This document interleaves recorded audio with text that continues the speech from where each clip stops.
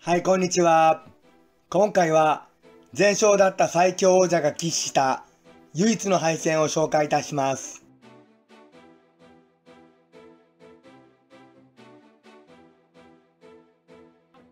36戦全勝のアーロン・プライヤーは試合前に相手陣営から侮辱を受けたのでリングインとともに突っかかっていきました。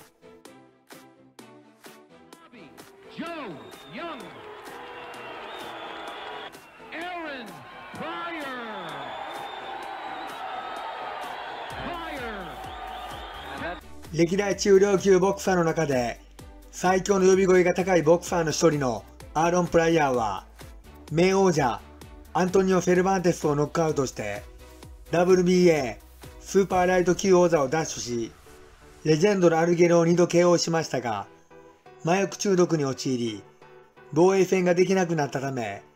王座を剥奪され引退しました。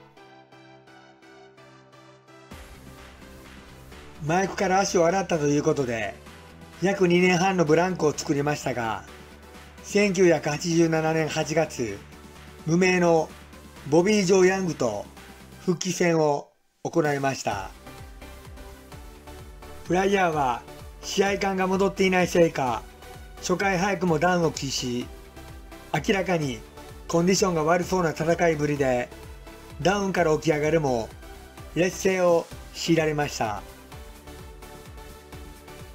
この試合の8ヶ月前にアルゲルがプライヤーと偶然出会ったのですがその時プライヤーはスーパーライト級のリミットより10キロ以上も軽い50キロほどでガリガリになっていたそうでそういった影響からかこの試合では攻撃にいつもの迫力は感じられません。迎えた第7ラウンドヤングの右をまともに食らったプライヤーはこの試合、2度目のダウンを喫し、立ち上がろうとしましたが、体が言うことを聞かず、カウントアウトされました。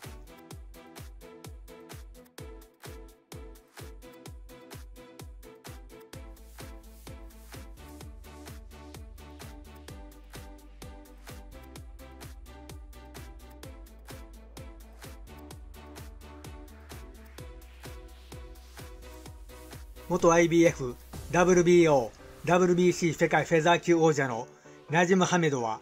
36戦全勝 31KO と無敵を誇っております。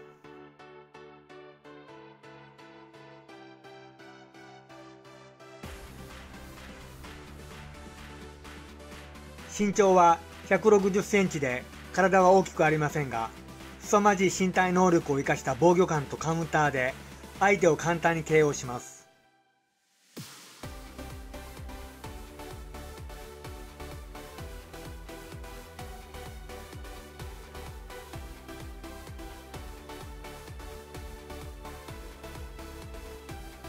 ノーガードという型破りなスタイルのハメドに対しマルコ・アントニオ・バレラはガードを高く掲げ左ジャブを中心に正統派で高度なボクシングテクニックで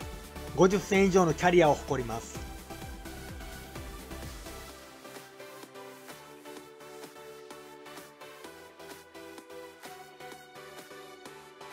変幻自在のスタイルで全勝のハメドは正統派のメキシカンファイターによって完全に封じられ、苦しい展開となっていきます。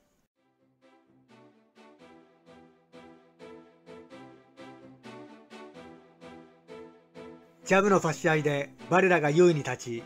接近しても連打を上下に打ち込み、童顔の暗殺者が悪魔王子を完全に抑え込んでいきます。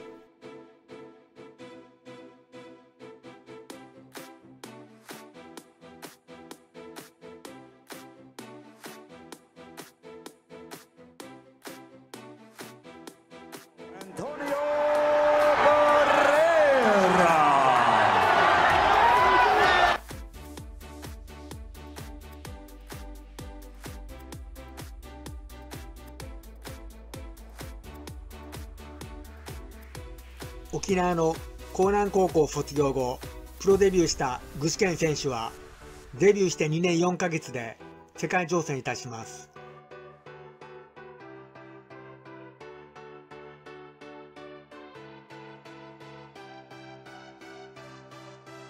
世界王者のファン・グスマンは、リトル・ファーマンと呼ばれ、21勝 15KO1 敗、うち初回 KO 勝ちが11度という強打の王者です。具志堅選手は序盤から軽快に動き回り一発を狙う王者を回転の速い連打で圧倒しダウンを奪っていきます。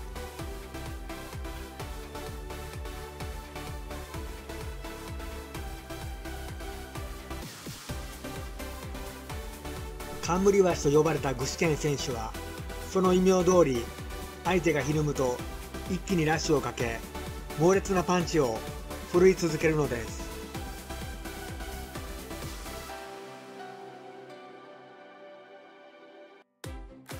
強打のグスマンから奪った世界王座を具志堅選手は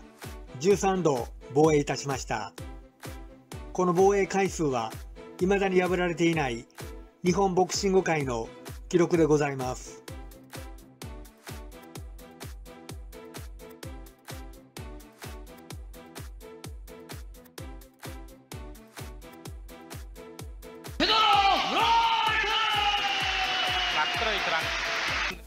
具志堅選手が14度目の防衛戦に迎えた相手はタフなメキシカンペドロ・フローレスでした。フローレスは前回13度目の防衛戦の相手で具志堅選手が判定勝ちをいたしましたが12ラウンドにはロープに詰められて連打を浴び大苦戦の勝利でしたが今回の防衛戦は初回から連打を繰り出しフローレスを圧倒いたします。しかし前回の試合で王者を追い詰めたフローレスはスタミナが旺盛なボクサーで今回も中盤から猛反撃を敢行し8ラウンドに凄まじい連打で王者からダウンを奪います。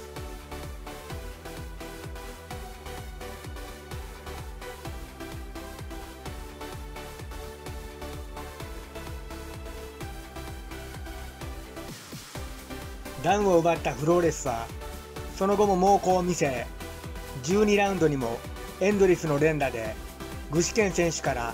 またもやダウンを奪います。具志堅選手はなんとか立ち上がりますがセコンドがタオルを投入し具志堅選手の防衛記録に終止符が打たれました。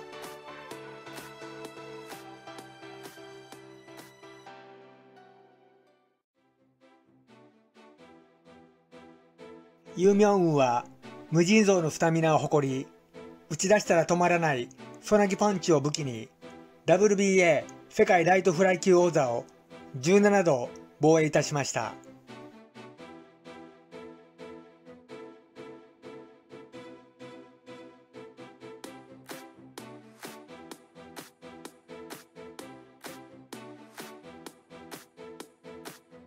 ユーミョンウンは最初の13試合すべて判定勝利でパワーがない小柄なファイターにしか見えなかったのですが努力と根性でスタミナと連打を培い世界戦で KO 勝利を積み重ね殿堂入りの名王者になりました。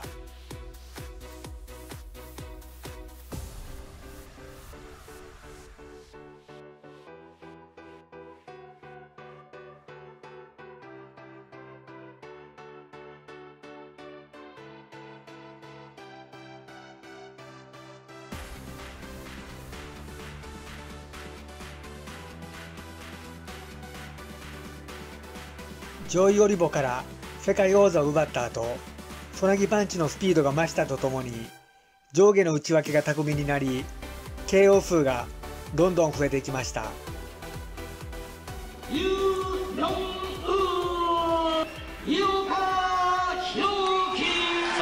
ユーの18度目の防衛戦の相手は、井岡弘樹選手でした。井岡選手は、同じジムの大砲選手と徳島選手が負けていたので、敵を撃とうと、静かに闘志を燃やしておりました。同じエディ・タウンゼント・モンカフェの村田英二郎さんが特別コーチとして優対策を万全に行い、特に左ジャブを強化したので、その甲斐あって左ジャブが冴え渡りました。また左ジャブからの右ストレートも切れており優が射程範囲に入れず主導権を完全に握りました。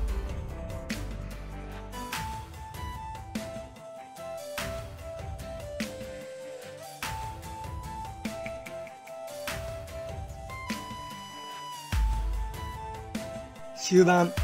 優は剛毛に突進してますが井岡選手は王者の猛攻を耐えそして迎え撃ち王者にソナギパンチを打たせずに試合は判定決着になりました。